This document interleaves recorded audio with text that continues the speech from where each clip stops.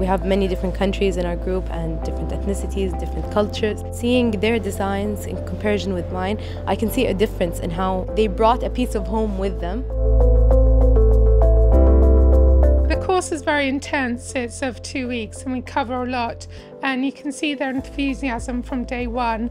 And because we cover a whole range of things from sketching to model making to digital as well as physical drawings, hand drawings, you can see people start, students start shining in their own areas and inspired to learn more about different aspects of the course.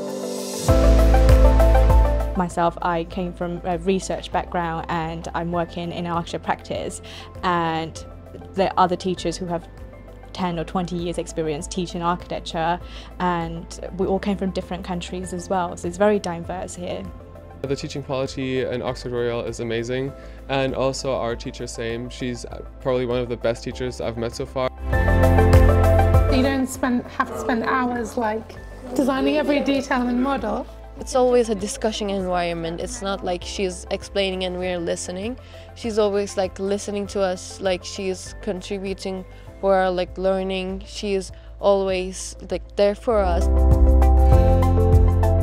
You get an assignment and you have so much like creative freedom. You can do whatever you want. You have like a brief and it feels like it feels like a good trial out for like a future architecture like job.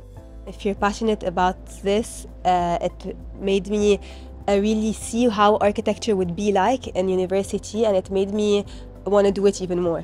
Like I learned a lot about architecture and I can use that in my CV and my portfolio, like the projects I did here. We've uh, started to build the city center and all of the residential blocks around it.